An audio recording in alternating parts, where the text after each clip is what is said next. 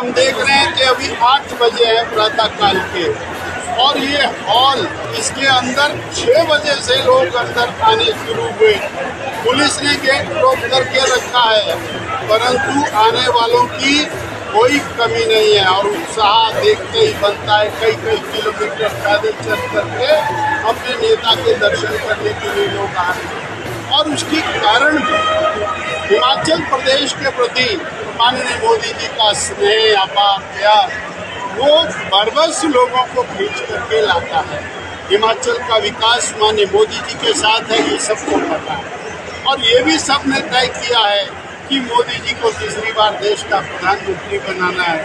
ये उत्साहपूर्ण वातावरण न केवल नाहन में है, मंडी में भी इसी प्रकार का वातावरण है। पूरा सिरमौर, शिमला, सोलन जिला, सारे लोग और वाद्य यंत्रों के साथ और बड़े उत्साह के साथ यहाँ पर पहुँचा। मोदी जी के नेतृत्व में चार की चार पार्लियामेंट की सीटें और छह की छह उपचुनाव भारतीय जनता पार्टी जीतेगी। ऐसा हिमाचल की जनता ने मन बनाया है।